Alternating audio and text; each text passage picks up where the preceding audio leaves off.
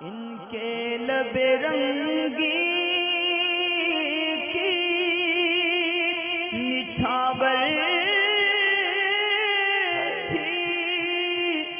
जिसने help desk पर पूछे गए सवाल जवाब हैं और ईमेल पर भी पूछे गए हैं और कुछ वेबसाइट पर पूछे गए हैं। तो ये रिकॉर्डेड वीडियो है लाइव इस बार अभी फ़िलहाल ये नहीं है। तो इसमें जो पूछे गए लोगों के सवाल जवाब है, आप उनको सुन लीजिए वन बाई वन। और इन सारे सवाल जो इस वीडियो में बताए गए हैं, ये सब सवाल नीचे डिस्क्रिप्शन के अंदर लिखे हुए हैं और उस पर टाइम भी लगाया गया हुआ है कि कौन सा सवाल किस टाइम पर है। अगर कोई ये पूरी वीडियो नहीं देखना चाहता, सिर्फ़ अपना सवाल देखना चाहता है, या ये देखना चाहता है कि इस वीडियो में कौन कौन से सवाल हैं, उसको जो ज़रूरत करेगी तो नीचे डिस्क्रिप्शन में जाए और उस टाइम पर क्लिक करें। डायरेक्ट ये वीडियो वहीं पर आ जाएगी जहाँ से सवाल शुरू है। तो इस तरह आप अपने वक्त को बचा सकते हैं क्योंकि ये हेल्प डेस्क क्वेश्चन आंसर की वीडियो बड़ी होती है क्योंकि इसमें कई सारे सवाल जवाब होते हैं। अगर कोई पूरा सुनना चाहे तो उसकी मर्ज़ी है, अच्छी बात है। लेकिन अगर कोई पूरा ना सुनना चाहे या पहले देखना चाहे कि कौन सा सवाल उसको सुनना है तो वो डायरेक्ट सवाल पे क्लिक करके जा सकता है। ये फैसिलिटी इस चैनल पर आप लोगों के यानी सब्सक्राइबरों के टाइम को बचाने के लिए दी गई है। सवाल ये है कि हज़रत, किसी ने पानी, यानी किसी ने पानी और स्वीट पर न्याज किया और न्याज करने के बाद पानी वाले बर्तन में पैर की ठोकर लग गई तो अब ऐसी सूरत में हमको पानी का क्या करें? स्वीट अगर ज़मीन पर गिर गई हो तो इसके बारे में बताएँ। असल में पहले आपको करना ये है, अगर पानी या कोई चीज़ ठोकर लगने में गिर जाए तो आपको सबसे पहले तो देख कर चलना चाहिए। कि नीचे बर्तन रखा है, पानी भी रखा है, मिठाई भी रखी है और आपके तारे गिनते हुए आसमान में चल रहे हो, कि उस पर ठोकर मारी और सारा सामान जो है ना फेंक दिया। दूसरी चीज़ ये है कि जब ऐसा, ऐसी चीज़ होती है, यानी आपकी मिठाई गिर गई, पानी गिर गया तो क्या सवाल पूछने तक अभी तक वो गिरा हुआ है? उसको गिरा हुआ पड़ा रहने देते हो कि पहले सवाल आएगा, जवाब आएगा, उसके बाद उसको उठाएँगे या उसके बाद उसका मामला करेंगे। तो ऐसा तो नहीं है। ज़ाहिर है कि अगर चीज़ गिरी है तो उसको फ़ौर उठा लेना चाहिए।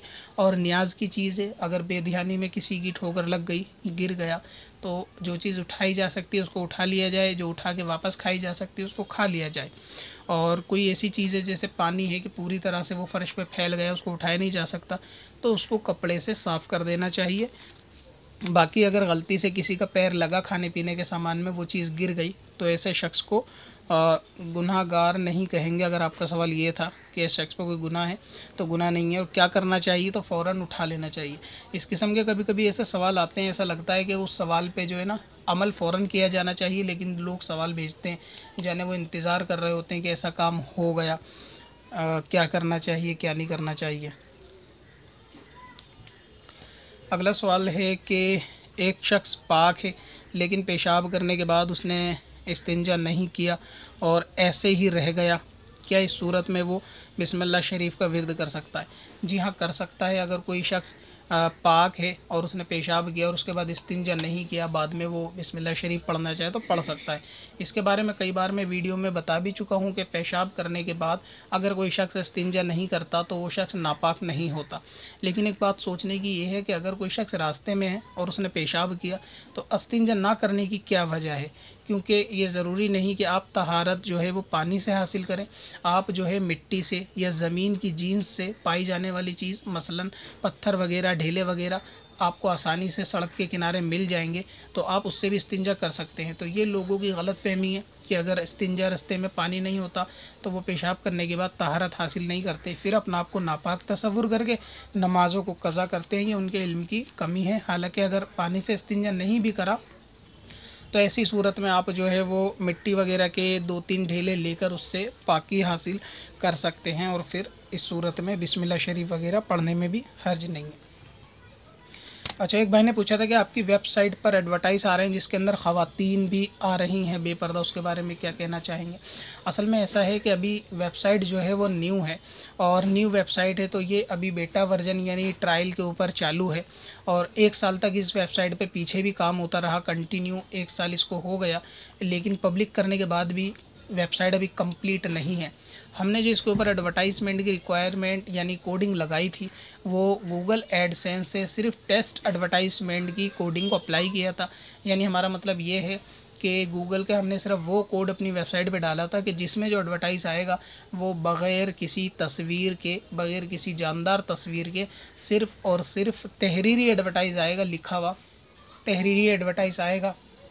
और आपने देखा भी होगा कि वेबसाइट के ऊपर अक्सर एडवर्टाइज वो रिटर्न फॉर्म में आ रहा है, यानी केवल उसमें टेस्ट है। इसके अलावा हमने कंटिन्यूस कैटेगरी को बंद करने की कोशिश की है। जैसे जैसे एडवर्टाइज हमारे सामने आता है कि इस कंपनी का ये ऐड आया और इसके अंदर जो है वो तस्वीर के अंदर औरतें हैं तो हम लोग उसको कंटिन्यू उस कैटेगरी को ब्लॉक करने की कोशिश कर रहे हैं। तो क्योंकि अभी वेबसाइट नहीं है ट्रायल के तौर पे कि जो जो एडवर्टाइज आएँगे हम धीरे धीरे धीरे धीरे उसको ब्लॉक करेंगे। और फिर इन ताला होगा ऐसा कि बाकी इसमें तस्वीर वाले या गैर ज़रूरी एडवर्टाइज़ या सूदी एडवर्टाइज़ जो है नाजायज़ प्रोडक्ट के एडवर्टाइज वो नहीं आएँगे। तो जब कोई एडवर्टाइज पहली बार आता है तो मालूम चलता है कि इस कैटेगरी का, इस प्रोडक्ट का एडवर्टाइज आया है तो फिर उसको हम धीरे धीरे बंद करते हैं। अब क्योंकि यूट्यूब के ऊपर जो है ना, हज़ारों कैटेगरी बनी हुई हैं और इसके अंदर इतनी कैटेगरी के अंदर सब कैटेगरियाँ भी ऐड हैं तो धीरे धीरे बंद करने में थोड़ा टाइम लग सकता है। फिर भी अगर आपको ऐसा एडवर्टाइज़ देखे तो आप उसका स्क्रीन हमें भेज दें ताकि जो उसको हम जल्द से जल्द ब्लॉक कर सकें, उस कैटेगरी को बंद कर सकें। मोस्टली हमारी साइड पर जो है ना, अस्सी परसेंट एडवर्टाइजमेंट की कैटेगरीज ब्लॉक हुई हुई हैं, केवल कुछ परसेंट चालू है। उस परसेंट के अंदर भी हो सकता है कि पिक्चर वगैरह आ जाती हो तो इसीलिए जैसा भी सूरत रहेगी उसको बंद किया भी जा रहा है और अभी ट्रायल के तौर पे उसको धीरे धीरे हम एडजस्ट करने की कोशिश कर रहे हैं। जैसे ही होगा, इंशाल्लाह सारे एडवर्टाइज पे से जो है गैर ज़रूरी ख़त्म हो जाएँगे। और अगर ऐसा नहीं हो पाता, बिल्कुल हमने तहरीरी एडवर्टाइजमेंट लगाए हैं तो इन फिर तहरीरी चलेंगे, लेकिन फिर भी उसमें ऐसा आता है तो हम उस वेबसाइट से एडवर्टाइजमेंट को पूरी तरह से हटा देंगे, यानी इलीगल एडवर्टाइज़ को पूरी तरह से हटा दिया जाएगा। तो वो एडवर्टाइज़ जो है, जैसा आपने याद दिलाया तो उसके लिए मैंने आपको अर्ज़ कर दिया कि वो अभी क्योंकि ट्रायल वर्जन पे है तो इसलिए एडवर्टाइजमेंट आ गया होगा। एक सवाल ये है कि पूछते हैं खुले आसमान के नीचे दूध या दूध से बनी कोई चीज़ मसलन दलिया वगैरह खाना कैसा बाज़ लोग घर के बड़े मना करते हैं इसकी इस्लाम में क्या असल है? आ, इस्लाम की रोशनी में वजाहत कीजिए। असल में ऐसा तो कोई ज़रूरी नहीं है कि खुले आसमान के नीचे दूध या उससे बनी कोई चीज़ नहीं खा सकते या नहीं पी सकते। शरीयत में तो इसकी कोई ममानियत नहीं है। हो सकता है कि किसी और दूसरी वजह से वो मना करते हों। बाकी खा सकते हैं, खुले आसमान के नीचे खाना, पीना इसमें कोई हर्ज नहीं, आसमान या कोई चील का वो ऊपर से आपकी चीज़ को छीनेंगे भी नहीं, खाएँगे भी नहीं। मोहम्मद राहिल भाई हैं, कहते हैं कि शादी दूल्हा, शादी में दूल्हा के हाथ में गुलदस्ता होता है, इसका क्या मतलब है? इसका तो कोई मतलब नहीं है। दूल्हा के हाथ में। और मैंने ऐसा देखा भी नहीं है कि दूल्हा के हाथ में शादी में जो है वो गुलदस्ता होता हो। ये पहली दफ़ा मैंने सुना, हो सकता है आपके शहर में होता हो कि दूल्हा के हाथ में गुलदस्ता दिया जाता हो या फूल वगैरह दिए जाते हों। बहरहाल ऐसा कोई शादी या निकाह में ज़रूरी नहीं है। और हो सकता है देने वाले का ये भी मतलब हो, दूल्हा को बताना चाह रहा हो फूल देख के कि अब मतलब ये आखिरी बार खिलते हुए फूल देख लो बहारों के उसके बाद आपकी ज़िंदगी में तो पतझड़ आने वाला है। तो हो सकता है ये भी देने वाले का मतलब हो कि वो फूल दिखा के उसको खुशिया, खुशी या हरियाली दिखाना चाह रहा हो कि खुशहाली हरियाली ऐसी होती है और खिले हुए बाग और फूल इस तरह होते हैं। बाद में फिर आपको वास्ता बहारों से नहीं पढ़ना पतझड़ से पढ़ना है तो इसीलिए उसके दिल की तसल्ली के लिए दूल्हा को आपके शहरों में जो है वो फूल हाथ में दिए जाते होंगे। सलमान ख़ान हैं और ये हैं यूपी इलाहाबाद के सलमान खान। ये कहते हैं, जी कैसे हैं आप? जी मैं ठीक हूँ, आप भी ठीक होंगे। ये पूछते हैं कि एक आदमी से बहस हुई और वो बोल रहा है कि हवा खारिज होने के बाद हमाम जाना ज़रूरी है, उसके बाद वज़ू करें। हमने जहाँ तक सुना है, हम तो डायरेक्ट सीधे वज़ू कर लेते हैं, आप इस बारे में रहनुमाई करें। असल में रे खारिज होने के बाद, यानी हवा पास होने के बाद बैतुलखला जाना या पानी से वापस उस जगह को धोना ये कोई ज़रूरी काम नहीं है। तो इसीलिए आप हवा खारिज होने के बाद अगर डायरेक्ट वज़ू करेंगे तो वज़ू हो जाएगा, आपका कहना बिल्कुल सही है। बाकी अगर कोई शख्स कहता है कि हवा पास होने के बाद उस जगह को धोया जाएगा बैतुलखला हमाम वगैरह में जाकर, उसके बाद ही वज़ू किया जाएगा तो ये मसला बिल्कुल गलत है। कहने वाले से आप दलील तलब करें कि ये कहाँ लिखा है, या कहाँ ऐसी बात कही है, कहाँ उन्होंने पढ़ी सुनी है कि हवा पास होने के बाद जो है वो रे खारिज होने के बाद पहले हमाम जाया जाएगा, उसके बाद ही वज़ू किया जाएगा। अलबत्त एक कौल इमाम आज़म के बारे में ज़रूर है, मैंने उसको पढ़ा भी है गालिबा इमाम आज़म का फरमान ये है, उन्होंने ये फरमाया कि अगर कौम पर मुश्किल या दुशारी ना गुज़रती इस उम्मत पर तो फिर मैं हवा पास होने के बाद भी उस जगह को धोने का हुक्म देता। यानी उसके बाद गालिबा वज़ू का हुक्म देता, ये उन्होंने फरमाया है सही मुझे याद नहीं कि उस मकाम को धोने का या फिर वज़ू करने का दोबारा से हुक्म देता। कुछ ऐसा ही मामला था।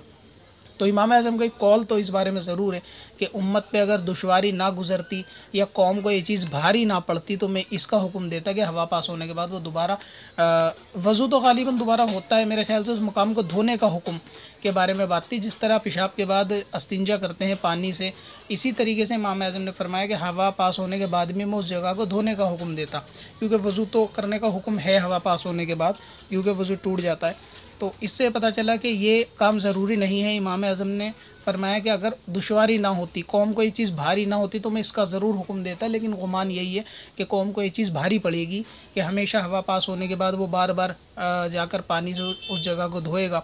तो बहुत सौ को बीमारी भी होगी मतलब गैस वगैरह की तो उनको अगर दिन में दस बारह बार हवा पास होगी, रास्ते में होंगे तो फिर ऐसी सूरत में बार बार जो है वो पानी से जगह को धोना।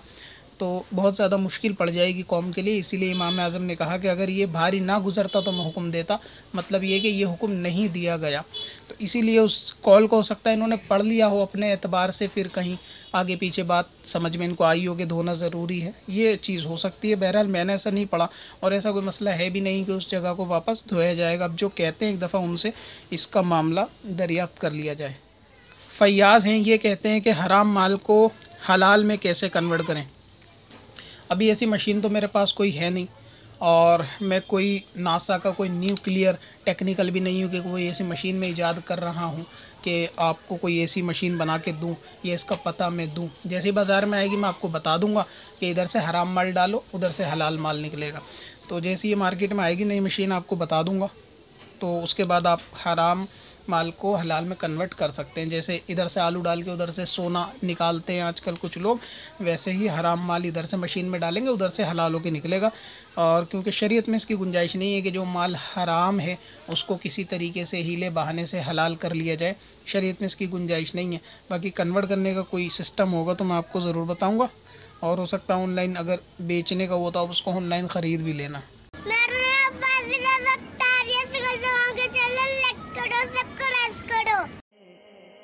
पत्थर में असल पुरन